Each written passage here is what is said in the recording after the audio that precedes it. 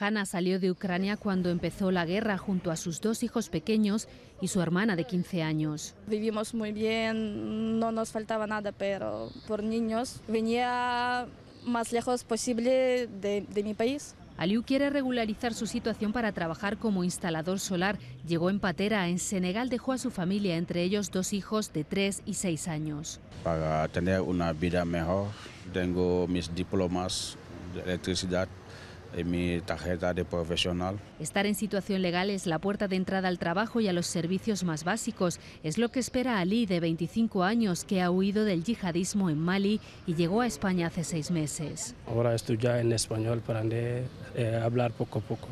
En este Día de las Personas Refugiadas, los tres ponen cara a quienes emigraron en contra de su voluntad. Que todas estas personas tengan el derecho a poder solicitar asilo y sobre todo que se creen vías seguras, legales, para que las personas puedan llegar tanto a España como a Europa y poder solicitar la protección internacional. Hanna, Ali y Aliu intentan rehacer su vida en Albacete, mientras tanto reciben el apoyo social, psicológico, jurídico y laboral de la ONG ACCEN.